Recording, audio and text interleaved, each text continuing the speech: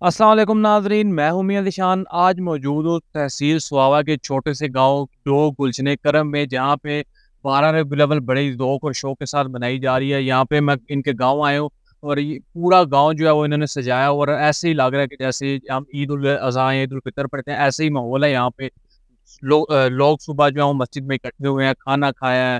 آپ دیکھ سکتے ہیں اسکرین پہ کہ کتنے لوگ جو ہے وہ کھانا کھا رہے، اس کے بعد ایک ریلی نکلی ہے، اس کے بعد یہاں پہ ایک مقابلہ منعقد کیا گیا۔ جس میں درو شریف کا مقابلہ ہوتا ہے پورے سال میں کس نے زیادہ درو شریف پڑھا میرے ساتھ بھائی صاحب موجود ہیں جنہوں نے بیتالیس لاکھ دفعہ درو شریف پڑھا اور یہ دوسرے نمبر پہ آئے۔ السلام علیکم۔ جی وعلیکم السلام۔ جناب میں نے ابھی مقابلہ دیکھا ہے آپ جو ہے دوسرے نمبر پہ ہیں بیتالیس لاکھ دفعہ آپ نے درود پڑھا ہے۔ تو یہ کیسے ممکن کرتے ہیں؟ دن میں تقریباً گیارہ بارہ ہزار پڑھیں تو یہ اتنا بنتا ہے۔ جی بسم اللہ۔ اگر انسان کوئی کام کرنا چاہے نا تو بالکل مشکل نہیں ہے۔ الحمد للہ رب باری تعالیٰ سے ہم یہ دعا مانگتے ہیں کہ یا رب باری تعالیٰ ہمیں سجدوں کی توفیق دے اور درود پاک پڑھنے کی توفیق دے۔ یہ میں یہاں پہ ڈمپر چلاتا ہوں۔ تو ہمارا کام بھی ایسے ہے کہ مٹی دھوڑ والا کام ہو۔ تو پہلے سال جب یہ جناز شریف کا پروگرام ہوا، تقریباً دو ہزار بیس تو میں بھی ریلی کے ساتھ آیا، پھر ادھر آئے مدرسے میں۔ ماشاء اللہ ادھر انہوں نے اعلان کیا کہ بھائی جس نے درود پاک جتنا پڑھا ہے نا وہ ادھر لکھیں اور یہ کتابیں ہم کو آپ انعام دے گی۔ تو ماشاء اللہ اس سال میرا تھا بائیس لاکھ سے کچھ اوپر تھا اٹھائیس ہزار تھا۔ پھر دوسرے سال ماشاء اللہ اس اس ٹائم میرا تھا دوسرے سال چھتیس لاکھ اٹھاون ہزار۔ تیسرے سال تھا میرا انتالیس لاکھ۔ ماشاء اللہ یہ چوتھا سال ہے۔ اس سال میرا ہے بیالیس لاکھ۔ اور نمبر پہ آئے ہاں چھ لاکھ مجھے بچوں نے دیا ہے۔ تو انسان کوشش کرے کر سکتا ہے۔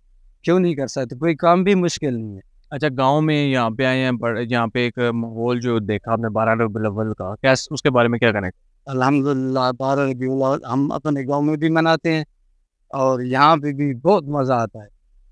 کیونکہ چھٹی ہوتی ہے ہماری صبح سے شامل ہو جاتے ہیں۔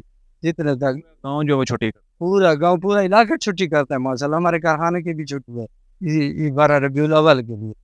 جلوس کے ساتھ شریک ہوتے ہیں یہاں پہ آتے ہیں جو لنگر ہمارے نصیب میں ہوتے ہیں وہ بھی کھاتے ہیں۔ اور یہ لوگ بہت خدمت کرتے ہیں۔ اور ہم ہم یہ بھی کہیں گے جدھر بھی مسلمان ہیں درود پاک پڑھے نمازیں پڑھیں اور بلاد بہت بہت شکریہ السلام جناب آپ کے گاؤں میں آپ کے گاؤں میں آئے ہوں ایسے ہی یہاں پہ مول بنا ہوا ہے جیسے عید الفطر عید الاضحیٰ پہ ہوتا ہے۔ پورا گاؤں جو ہے وہ یہاں پہ متحد ہوا ہوا ہے۔ تو اس بارے میں کیا کیا کہنا چاہیے؟ کب سے یہ چل رہا ہے؟ ہر سال یہ ایسے ہوتا ہے کہ یہ سجایا جاتا ہے۔ ہر سال یہ بارہ ربیع منائی جاتی ہے اور اس سے بھی زیادہ پہلے منائی جاتی تھی۔ ان تین چار گاؤں میں نا یہ سارے درس کے بچے اور سارے علاقے کے بندے پھر کے نا یہ بارہ ربیع مناتے تھے۔ اب یہ تین سال سے صرف درس سے ترقی جوڑ سے پھر دوبارہ درس سے آتے ہیں۔ یہ تقریباً بارہ تیرہ سال ہو گئے ہیں یہ منا رہے ہیں۔ اچھا یہ جو اس کے ایکسپینسز وغیرہ آتے ہیں پیسے وغیرہ جو ہوتے ہیں وہ کون لگاتا ہے؟ وہ ادھر درس والے لگاتے ہیں۔ درس کے جو گاؤں والا نہیں لیتے؟ نہیں نہیں درس والے آس پاس لوگ جو ہے نا وہ خدمت کرتے ہیں نا۔ وہ خدمت کرتے ہیں اس کے پرنسپل جو ہے درس کے ان کو۔ اور اگو مطلب یہ جو پرنسپل ہے یہ سارا خرچہ کرتے جی پورا گاؤں کے باہر سے بھی لوگ آتے ہیں صرف گاؤں کے لوگ ہیں وہ باہر سے بھی لوگ جہاں بچے پڑھتے ہیں نا ان کے بھی جو پیچھے علاقے کے بندے ہیں وہ بھی آتے ہیں۔ میں گاؤں میں گیا تھا دیکھ رہا تھا مٹھائیاں جو ہیں وہ سریام لوگ بانٹ رہے ہیں خوشی کا اظہار کر یہ مٹھائیاں دیکھا کھانے سب کو یہ آس پاس والے لوگ بھی دیتے ہیں۔ اور باہر کے لوگ بھی جو ہے وہ پیسے دیتے ہیں خدمت کرتے ہیں۔ اس طرح یہ نظام چل رہا ہے اللہ کا شکر ہے۔ بہت بہترین چل رہا ہے۔ سیدھا ناظرین، انہوں نے بڑے ایک اچھے طریقے سے جو ہے بارہ ربی الاول ان گاؤں والوں نے آرگنائز کیا اور یقین مانے کہ یہاں پہ آ کے ایک بڑا اچھا لگا ہے، یہاں کیونکہ ایسا ہی مول تھا جیسے عید پہ مول ہوتا ہے، بالکل سیم وہ یہاں پہ مول تھا۔